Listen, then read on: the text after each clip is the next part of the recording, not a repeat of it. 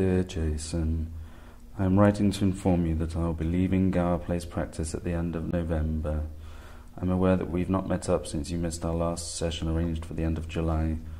I was writing to you to see if you'd be interested in meeting up for a review session to see how you're doing at the moment and to discuss whether it would be helpful for me to pass on your details to the new primary care mental health worker it would be possible for us to either meet in person or to arrange a telephone appointment. If you feel things are going well at the moment and no longer require any extra support, that is fine. However, you might still find it helpful to meet up for a final review session to discuss things.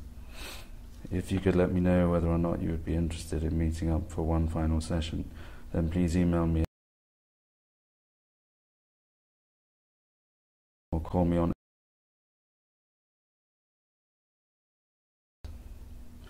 If I don't hear from you within two weeks of the date on this letter, I'll presume you do not want to meet up, and I'll discharge you from my caseload.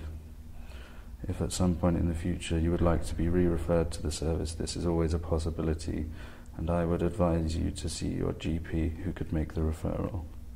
Yours sincerely, primary care and mental health worker at Camden Psychological Therapy Service.